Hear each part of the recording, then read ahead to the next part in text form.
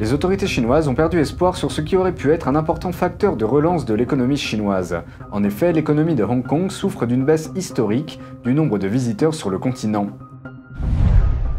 Une alliance de quatre pays dans la zone Indo-Pacifique irrite le Parti communiste chinois. Cette alliance est la réponse de ces pays au harcèlement de la Chine dans plusieurs domaines. Au sud de la mer de Chine, la loyauté des Philippines oscille entre deux grands pays. Leur dernière manœuvre a modifié l'équilibre militaire dans cette région. La Chine a arrêté la mère d'une virologue dissidente. Elle a fui la Chine en accusant Pékin de dissimuler la pandémie et de manipuler le virus. Et l'ambition de la Chine est de passer du statut de marché potentiel à celui de concurrent à travers le vol. Mais qu'ont apporté les relations avec la Chine à l'industrie automobile allemande?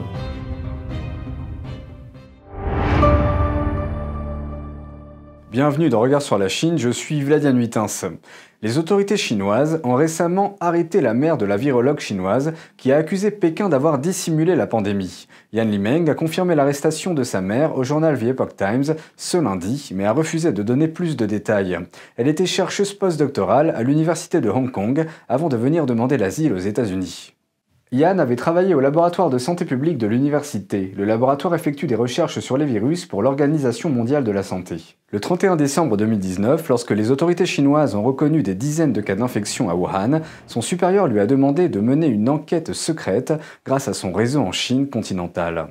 Selon elle, cette enquête l'aurait amené à conclure que la situation était bien plus sombre que ce que Pékin avait admis. Elle a rapidement commencé à transmettre secrètement l'information au monde occidental.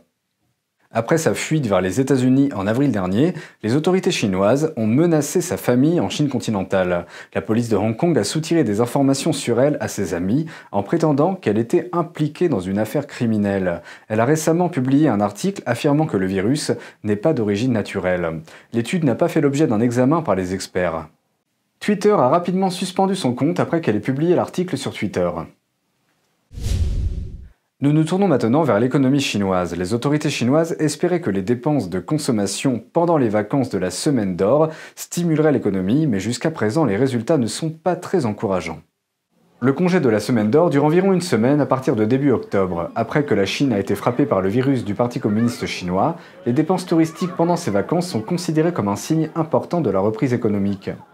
Mais les données officielles montrent que le nombre de personnes qui voyagent et dépensent pendant les vacances a diminué cette année. Pour la première moitié de la semaine, les dépenses des touristes ont diminué de près d'un tiers et le nombre de touristes a chuté de plus de 20%. Ce chiffre est donné en comparaison de la même période l'année dernière. Et la propagation du virus suscite également des inquiétudes. Lors de précédentes interviews, les habitants de différentes régions ont déclaré que le virus se propageait toujours dans les régions locales. Ils ont accusé les autorités de dissimulation. Et avec des centaines de millions de touristes qui voyagent pendant la saison des vacances, le risque d'infection pourrait être davantage exacerbé. Et à Hong Kong, la ville souffre d'une perte de voyageurs en provenance de Chine continentale. Chaque année, pendant la semaine d'or de la fête nationale, les touristes chinois affluent dans la région et stimulent son économie. Mais cette année, pendant la première moitié des vacances, moins d'un millier de voyageurs ont visité Hong Kong. Cela représente une baisse de près de 100% par rapport à l'année dernière, où près de 600 000 personnes étaient venues. Les restrictions de voyage à Hong Kong rendent également les choses plus difficiles pour les visiteurs. Les touristes en provenance de Chine sont tenus de se mettre en quarantaine pendant 14 jours à leur arrivée.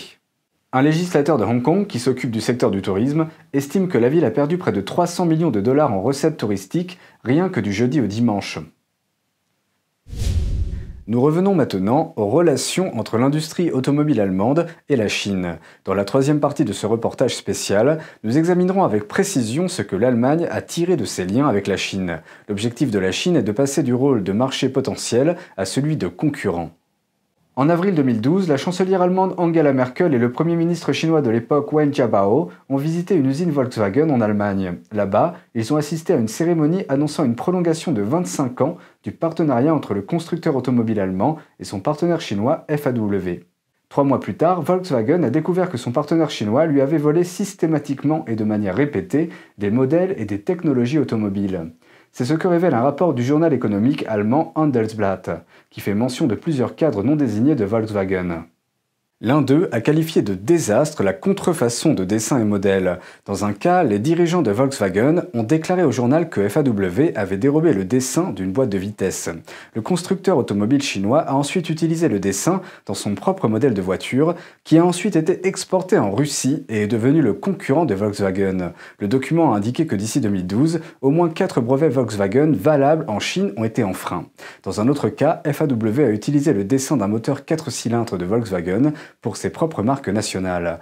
La seule différence entre le moteur original et la copie était le logo de la société, car le constructeur automobile chinois a remplacé la marque Volkswagen par la sienne. Mais Volkswagen n'est pas le seul exemple. Une grande partie des transferts de technologies forcés et des vols de propriété intellectuelle que connaissent les entreprises occidentales en Chine se font par le biais de co-entreprises. Contrairement aux investissements dans d'autres pays, en Chine, les constructeurs étrangers sont obligés d'établir un partenariat avec un constructeur local. Cela permet d'entrer sur un marché de 1,4 milliard d'habitants. Et jusqu'à récemment, la Chine n'autorisait pas les entreprises étrangères à détenir plus de 50% des parts de la coentreprise. Quant au vol, il est coûteux pour les constructeurs automobiles de le contester ouvertement. En 2018, sur les 10 millions de voitures vendues par Volkswagen dans le monde, 4 millions ont été vendues en Chine. La plupart ont été produites par des co-entreprises locales. Aujourd'hui, Pékin veut passer du statut de partenaire des constructeurs automobiles occidentaux à celui de concurrent. Selon un rapport de 2019 du ministère chinois du Commerce, Pékin vise à promouvoir l'exportation des voitures chinoises produites par des co-entreprises avec les marchés européens et américains.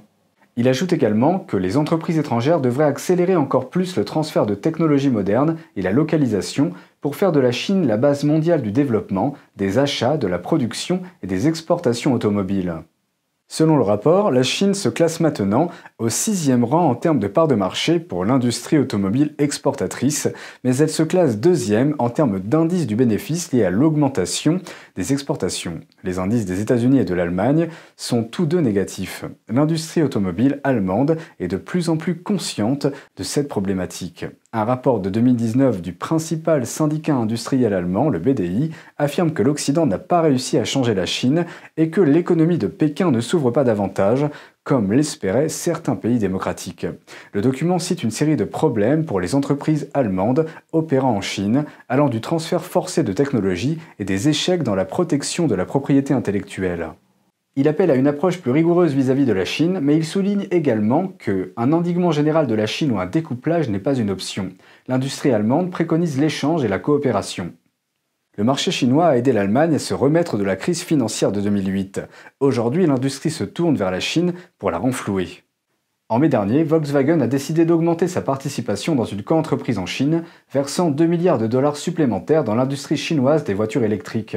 Dans la préface du rapport du ministère du Commerce chinois, un membre du groupe de direction du parti et ministre adjoint du ministère a écrit que l'industrie automobile est un élément stratégique de l'économie chinoise. Il a ajouté que la promotion d'un développement commercial de haute qualité est une décision et un déploiement majeur pris par le comité central du Parti communiste chinois face au changement profond de la situation internationale et nationale et une exigence inévitable pour faire avancer la cause du socialisme aux caractéristiques chinoises dans la nouvelle ère. Le secrétaire d'État américain Mike Pompeo a rencontré les trois nations qui composent l'Alliance du Quad. L'objectif commun de l'Alliance est de construire une région Indo-Pacifique libre et ouverte, ce qui ne peut se faire sans affronter la menace que représente la Chine. Le secrétaire d'État américain Mike Pompeo a rencontré les ministres des Affaires étrangères du Japon, de l'Australie et de l'Inde. Les quatre alliés du Pacifique cherchent à renforcer leurs liens et leur coopération contre la menace commune, le régime communiste chinois. As partners in this quad, it is more critical now than ever that we collaborate to protect our people and partners from the CCP's exploitation, corruption, and coercion. Monsieur Pompeo a déclaré que cette alliance était d'autant plus importante que la pandémie a révélé la nature autoritaire du régime en dissimulant le virus et en réduisant au silence ceux qui ont tenté de tirer la sonnette d'alarme. La réunion à Tokyo est la première étape de la visite de Pompeo en Asie de l'Est. C'est son premier voyage dans cette région depuis juillet 2019. Les visites subséquentes en Mongolie et en Corée du Sud ont été suspendues à la suite du dépistage du virus chez le président américain. Alors que Pompeo a dénoncé la menace du régime chinois, les trois autres homologues ont évité de désigner directement la Chine. Avant la réunion du Quad, Pompeo a rencontré le Premier ministre japonais Yoshihide Suga, qui a déclaré que son pays avait insisté pour réaliser une région Indo-Pacifique libre et ouverte. Il a déclaré qu'il ne manquera pas de continuer à y œuvrer. Lors de la réunion des quatre alliés régionaux de la région Indo-Pacifique, le Japon, l'Australie et l'Inde ont montré leur soutien aux États-Unis vis-à-vis de leur réponse au comportement du Parti communiste chinois. Le ministre japonais des Affaires étrangères, Yoshimitsu Motegi, a lancé un appel en faveur du cadre d'un Indo-Pacifique libre et ouvert. We, the four nations, share the same fundamental values of democracy, rule of law, and a free economy. We, as responsible partners in the region, share a common goal to enhance a free and open international order abiding by the rules. La ministre australienne des Affaires étrangères, Marie Payne, a fait écho à son homologue japonaise en appelant à un engagement à travailler ensemble pour promouvoir un Indo-Pacifique ouvert, inclusif et résistant. It's a diplomatic network that assists us as democracies to align ourselves in support of shared interests. We believe in a region governed by rules, not power. Et le ministre indien des Affaires étrangères, Subramaniam Jaishankar, a énuméré tous les aspects sur lesquels les quatre pays pourraient travailler ensemble. I look forward to our discussions today on important issues such as connectivity, infrastructure development, security, including counterterrorism, cyber and maritime security, health cooperation, and the stability and prosperity of the region. À l'issue de ces discussions, les quatre pays ont confirmé qu'ils allaient avancer avec des discussions pratiques sur les infrastructures, la cybersécurité et d'autres domaines. Et un autre pays ignore la colère chinoise à l'encontre de Taïwan. Un navire de guerre canadien a récemment navigué dans le détroit sensible de Taïwan. C'est ce qu'indiquait le rapport du ministère de la Défense de Taïwan le samedi 3. Ce voyage a eu lieu à un moment où la tension militaire entre la Chine et Taïwan s'intensifiait. La Chine a intensifié son activité militaire autour de l'île au cours des dernières semaines.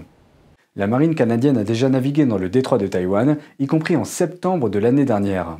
La marine américaine a également effectué des passages réguliers par le détroit. La Chine tend à dénoncer ces navigations. En août, ses militaires ont qualifié la traversée du détroit par le destroyer à missiles guidés USS Mustin d'extrêmement dangereuse. Les relations entre la Chine et le Canada se sont détériorées depuis 2018, date à laquelle le Canada a arrêté Meng Wanzhou, la directrice financière du géant chinois des télécommunications Huawei Technologies. Elle a été arrêtée sur la base d'un mandat d'arrêt américain. Washington l'a accusée de fraude bancaire pour avoir induit HSBC en erreur sur les transactions commerciales de Huawei en Iran et avoir amené la banque à enfreindre la loi américaine sur les sanctions. Pékin a demandé sa libération. Peu après la détention de Meng, la Chine a arrêté les citoyens canadiens Michael Spavor et Michael Kovrig, qu'elle a accusés d'espionnage. Les deux hommes sont toujours emprisonnés en Chine. La priorité des Philippines a toujours été d'osciller entre ses intérêts économiques et son intégrité souveraine. Elle reste donc à la fois du côté des États-Unis et de la Chine. Mais leur dernière manœuvre a modifié l'équilibre militaire dans la mer de Chine méridionale. Les relations entre la Chine et les Philippines ont connu des hauts et des bas pendant près d'une décennie. Dans leur dernière manœuvre, les Philippines se sont éloignées de la Chine et se sont alliées plus étroitement avec les États-Unis. Ce changement a eu un impact majeur sur le différend concernant la mer de Chine méridionale. La Chine et les Philippines se sont affrontées dans des litiges frontaliers maritimes pendant des années. La Chine a revendiqué la quasi-totalité de la mer de Chine méridionale comme son propre territoire, et elle a tracé ce que l'on appelle la ligne des neuf tirets pour désigner sa revendication. Cette ligne est tracée à seulement 230 km des Philippines et comprend une petite île contestée appelée Scarborough Shoal. En même temps, la ligne se trouve à plus de 650 km de la masse terrestre chinoise la plus proche. En 2012, une confrontation navale a eu lieu lorsque les deux parties ont revendiqué la souveraineté sur le haut fond de Scarborough et ont refusé de se retirer. Après deux mois de tension, un accord a été conclu avec l'aide des États-Unis. Les Philippines ont retiré leurs navires, mais la Chine y a maintenu sa présence. Comme Pékin a refusé de quitter la région, le président des Philippines de l'époque, Benigno Aquino III du nom, a déposé une demande d'arbitrage contre la Chine auprès de la Cour permanente d'arbitrage des Pays-Bas. Des années plus tard, en 2016, les Philippines ont gagné le procès, mais Pékin a contesté la décision du tribunal. Au lieu de protester, le nouveau président des Philippines, Rodrigo Duterte, a annulé le différend territorial. Il s'agissait d'un effort pour faire rentrer dans le pays les milliards de dollars que la Chine s'était engagée à investir dans les infrastructures. Mais alors que Duterte faisait preuve de bonne volonté envers la Chine, Pékin était occupé à construire des îles artificielles sur la mer de Chine méridionale à des fins militaires. Et à une autre occasion, début 2014, il a été rapporté qu'un navire chinois avait tiré avec des canons à eau sur des pêcheurs philippins. Et des années plus tard, un autre navire chinois a percuté un bateau philippin. La collision a fait sombrer le navire philippin et mis en danger la vie de ses membres d'équipage. Mais même suite à cela, Duterte a affirmé que personne ne pouvait empêcher la Chine de pêcher dans les eaux des Philippines. Certains Philippins ont commencé à exprimer leur colère envers Pékin et ont reproché à Duterte d'avoir compromis leur souveraineté. Malgré le contre-coup, Duterte a un jour plaisanté en disant que les Philippines pourraient devenir une province chinoise. Début 2020, Duterte a mis fin à l'accord de coopération avec les forces militaires américaines expatriées. Cela a marqué une rupture dans l'alliance militaire bilatérale entre les deux pays, renforçant ainsi les relations entre les Philippines et la Chine. Bien que Duterte ait travaillé sans relâche pour satisfaire Pékin, la situation a encore changé en avril lorsque la Chine a créé deux nouveaux districts. Mais selon une décision de justice, la zone appartient finalement aux Philippines. Et en mai, la Chine a déployé des navires dans une zone contestée. Des gardes-côtes chinois ont même menacé de saisir l'équipement des pêcheurs philippins. Un mois plus tard, Duterte a fait marche arrière, décidant de ne pas mettre fin au pacte militaire avec les États-Unis. Le gouvernement philippin a déclaré qu'il maintiendrait une alliance de longue date avec les États-Unis. Depuis lors, les Philippines ont adopté une position plus ferme à l'égard de Pékin. Le pays a également protesté contre diverses problématiques, comme la saisie des outils de leurs pêcheurs et l'agression de la Chine contre les avions philippins qui traversent la mer de Chine méridionale. Les autorités ont même fermé quatre magasins pour avoir vendu des produits de beauté chinois portant des étiquettes qui identifiaient la capitale philippine comme une province chinoise. Les Philippines ont également averti Pékin que les États-Unis s'impliqueraient si la Chine attaquait sa flotte. Cette stratégie empêche la Chine de s'emparer complètement de la mer de Chine méridionale.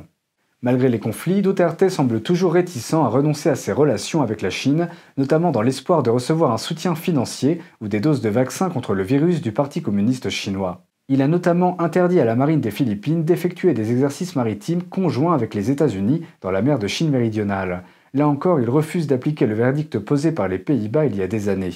Sa politique s'est également étendue aux entreprises. Lorsque le ministre des Affaires étrangères des Philippines a recommandé de ne pas faire affaire avec les entreprises chinoises inscrites sur la liste noire, M. Duterte a rejeté cette proposition. Parfois, il semble même encourager à conclure des accords avec ces entreprises chinoises. Certains soupçonnent que le comportement incohérent de Duterte découle également de son désir d'obtenir des doses de vaccins contre le virus. Dans un discours prononcé en juillet, Duterte a déclaré qu'il avait plaidé auprès du dirigeant du Parti communiste chinois Xi Jinping, demandant que les Philippines soient l'un des premiers à recevoir des doses de vaccins lorsqu'ils seront disponibles. Compte tenu des défis auxquels Pékin est actuellement confronté, nombreux sont ceux qui se demandent si la Chine peut tenir ses promesses. La politique étrangère des Philippines semble jouer sur les deux tableaux, et pour l'instant, elle penche vers les États-Unis. Et c'est tout pour aujourd'hui, merci d'avoir suivi Regard sur la Chine, on se retrouve demain pour une prochaine émission. Si vous souhaitez nous aider à défendre la liberté de la presse et à diffuser des informations non censurées sur la Chine, vous pouvez liker la page ou partager nos vidéos. Très bonne soirée et à bientôt